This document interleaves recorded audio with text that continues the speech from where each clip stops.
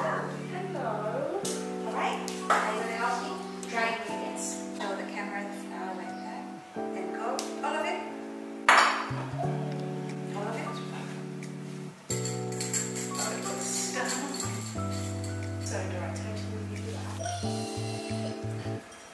So now get to whisk it all. Make sure. So now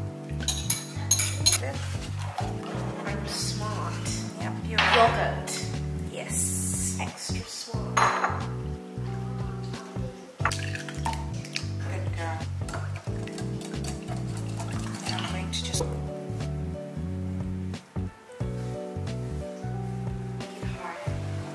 So we just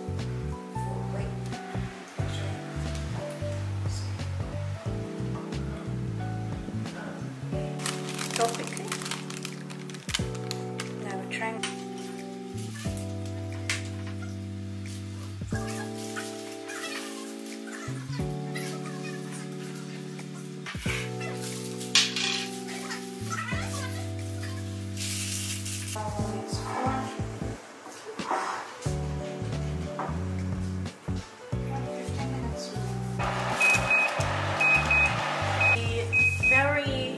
I.